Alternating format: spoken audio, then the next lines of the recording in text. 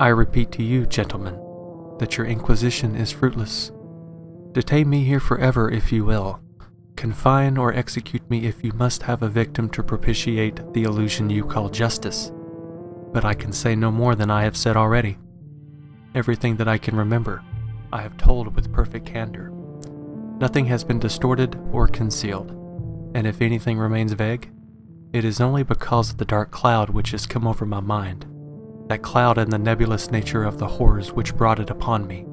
Again I say, I do not know what has become of Harley Warren, though I think, almost hope, that he is in peaceful oblivion, if there be anywhere so blessed a thing. It is true that I have for five years been his closest friend, and a partial share of his terrible researches into the unknown. I will not deny, though my memory is uncertain and indistinct, that this witness of yours may have seen us together, as he says, on the Gainesville Pike, walking towards Big Cypress Swamp, at half past eleven on that awful night, that we bore electric lanterns, spades, and a curious oil of wire with attached instruments.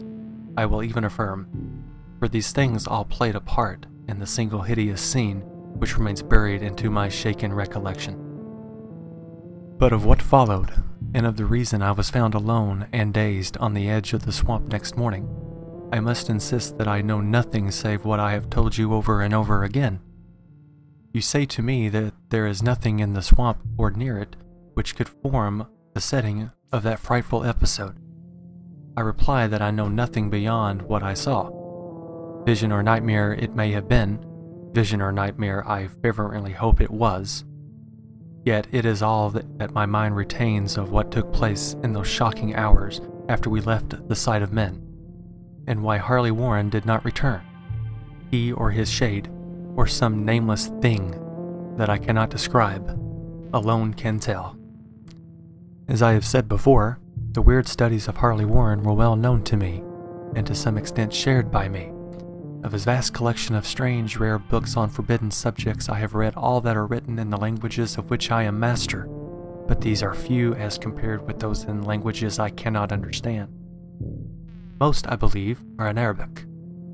And the fiend inspired book which brought me on the end, the book of which he carried in his pocket out of the world, was written in characters whose like I never saw elsewhere. Warren would never tell me just what was in that book. As to the nature of our studies, must I say again that I no longer retain full comprehension?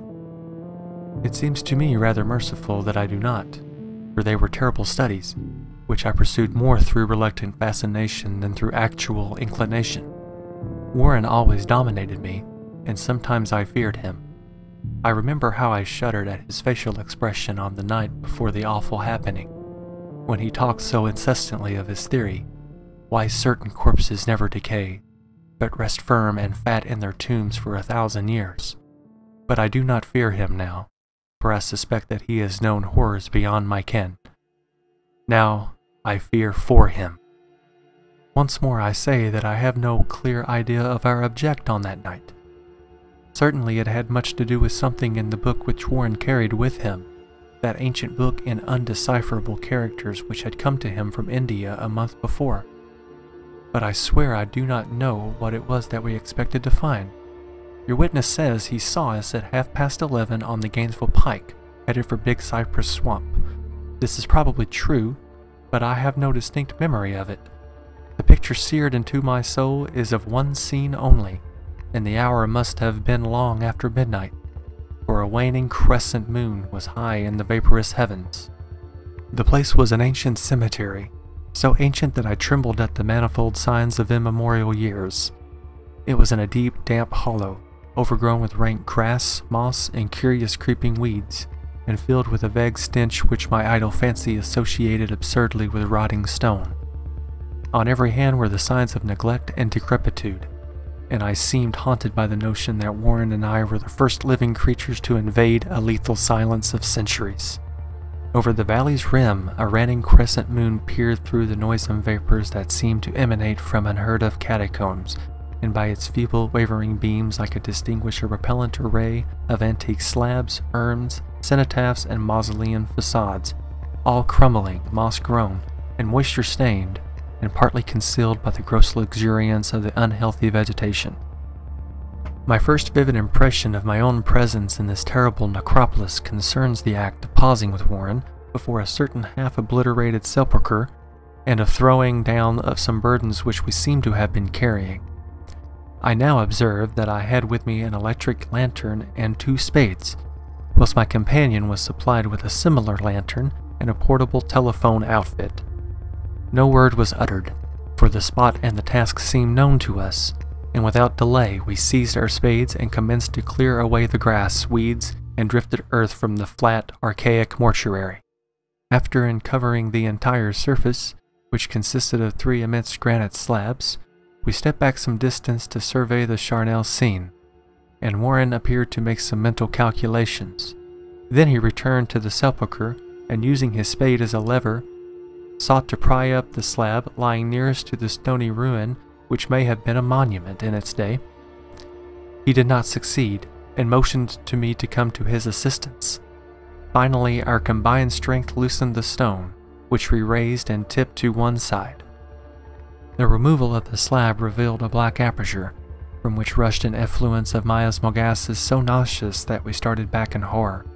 After an interval, however, we approached the pit again, and found the exhalations less unbearable, our lanterns disclosed the top of a flight of stone steps, dripping with some detestable ichor of the inner earth, and bordered by moist walls encrusted with nitre. And now, for the first time, my memory records verbal discourse, Warren addressing me at length in his mellow tenor voice, a voice singularly unperturbed by our awesome surroundings. I'm sorry to have to ask you to stay on the surface, he said but it would be a crime to let anyone with your frail nerves go down there.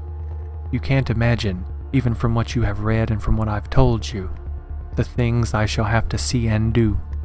It's fiendish work, Carter, and I doubt if any man without ironclad sensibilities could ever see it through and come up alive and sane. I don't wish to offend you, and heaven knows I'd be glad enough to have you with me, but the responsibility is in a certain sense mine and I couldn't drag a bundle of nerves like you down to probable death or madness. I tell you, you can't imagine what the thing is really like, but I promise to keep you informed over the telephone of every move. You see, I have enough wire here to reach to the center of the earth and back. I can still hear, in memory, those coolly spoken words, and I can still remember my remonstrances. I seemed desperately anxious to accompany my friend into those sepulchral depths, yet he proved inflexibly obdurate. At one time he threatened to abandon the expedition if I remained insistent, a threat which proved effective, since he alone held the key to the thing.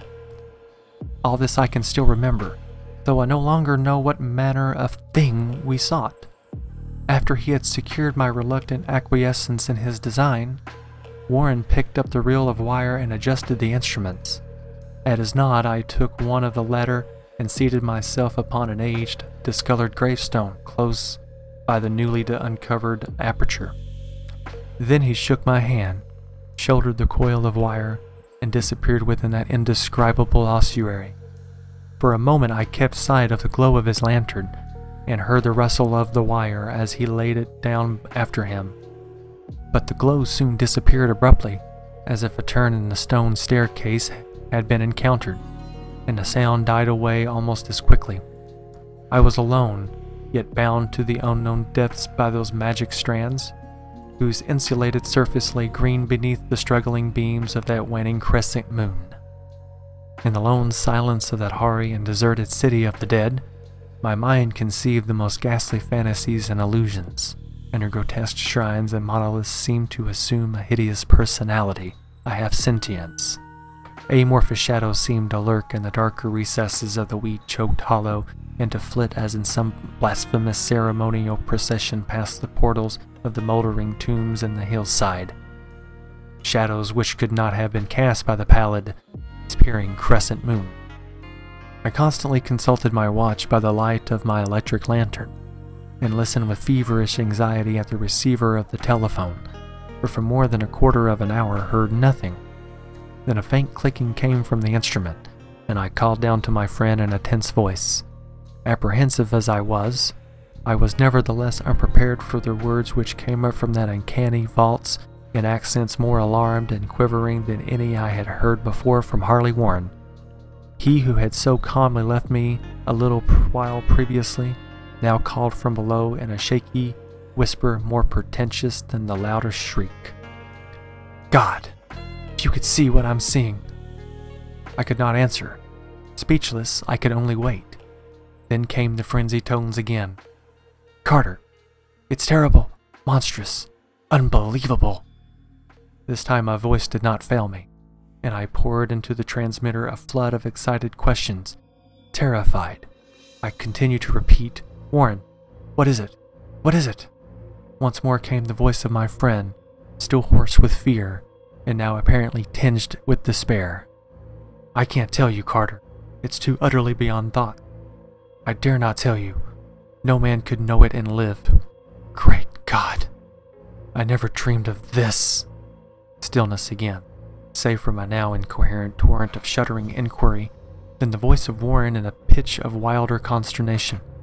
Carter, for the love of God, put back the slab and get out of this if you can. Quick! Leave everything else and make it for the outside. It's your only chance. Do as I say, and don't ask me to explain. I heard, yet was able only to repeat my frantic questions. Around me were the tombs and the darkness and the shadows. Below me, some peril beyond the radius of the human imagination.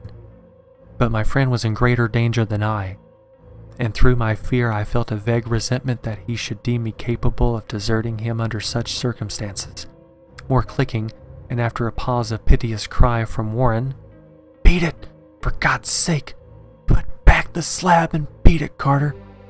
Something in the boyish slang of my evidently stricken companion unleashed my faculties. I formed and shouted a resolution, Warren, brace up, I'm coming down. But at this offer the tone of my auditor changed to a scream of utter despair. Don't! You can't understand. It's too late, and my own fault Put back the slab and run. There's nothing else you or anyone can do now. The tone changed again, this time acquiring a softer quality, as of hopeless resignation.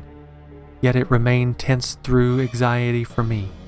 Quick, before it's too late! I tried not to heed him, tried to break through the paralysis which held me, and to fulfill my own vow to rush down to his aid. But his next whisper found me, still held inert in the chains of stark horror. Carter, hurry! It's no use. You must go. Better one than two. The slab! A pause, or clicking, then a faint voice of Warren. Nearly over now. Don't make it harder. Cover up those damn steps and run for your life. You're losing time. So long, Carter. Won't see you again. Here Warren's whisper swelled into a cry a cry that gradually rose to a shriek fraught with all the horror of the ages. Curse these hellish things! Lesions! My God! Beat it! Beat it! Beat it! After that was silence. I know not how many interminable aeons I sat stupefied, whispering, muttering, calling, screaming into that telephone. Over and over again through those eons, I whispered and muttered, called, shouted, and screamed, Warren! Warren! Answer me! Are you there? And then there came to me the crowning horror of all the unbelievable, unthinkable, almost unmentionable thing. I have said that aeons seemed to elapse after Warren shrieked forth his last despairing warning, and that only my own cries now broke the hideous silence. But after a while there was a further clicking in the receiver, and I strained my ears to listen. Again I called down, Warren, are you there? And in answer heard the thing which has brought this cloud over my mind. I do not try, gentlemen, to account for that thing, that voice, nor can I venture in to describe it in detail, since the first words took away my consciousness and created a mental blank which reaches to the time of my awakening in the hospital. Shall I say that the voice was deep, hollow, gelatinous, remote, unearthly, inhuman, disembodied? What shall I say? It was the end of my experience, and is the end of my story. I heard it, and knew no more. heard it as I sat petrified in that unknown cemetery in the hollow, amidst the crumbling stones and the falling tombs, the rank vegetation and the miasmal vapors. Heard it well up from the innermost depths of that damnable open sepulchre as I watched amorphous, necrophagous shadows dance beneath the accursed waning moon. And this is what it said. You fool. Warren is dead.